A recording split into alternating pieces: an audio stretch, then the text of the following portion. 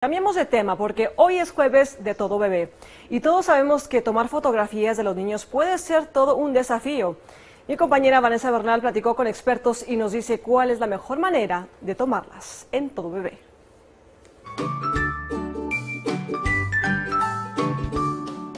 Es muy lindo tener recuerdos de cada etapa de tu vida y la de tu bebé.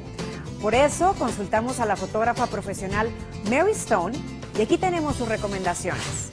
Cuando se toman fotos de bebés o niños pequeños, es esencial contar con ayuda. El asistente debe de estar detrás de la persona que toma la foto y tiene que hacer lo posible por llamar la atención del bebé con cualquier tipo de sonaja o juguete musical. También puede cantarle una canción familiar que lo haga sonreír. El bebé debe de estar sentado en el piso con almohadas para sostenerlo o en su portabebé. También puede estar sobre un sofá. Cubrir el área con una manta grande de un solo color para que sirva de fondo. Esto ayuda a no distraer y que el bebé sea lo más importante en la foto. Trata de poner esto frente a una pared blanca o de un solo color.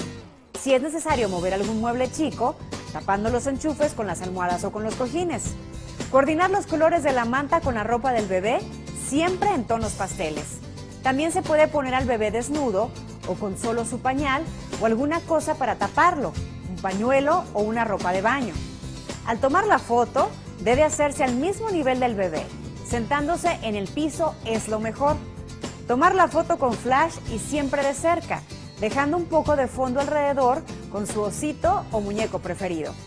Siempre preparar todo antes y tenerlo listo, esperando el momento cuando el bebé está de buen humor, generalmente después de dormir la siesta. Y ahora, a tomar las fotografías. Muy buena suerte. Si tienen más preguntas, pueden enviarlas a social.todobebé.com. Recuerda que estamos para ayudarte a disfrutar todos los aspectos de la maternidad. En todobebé.com puedes encontrar estos y otros consejos de estilo de vida que te serán de mucha utilidad. No lo olvides, todobebé.com.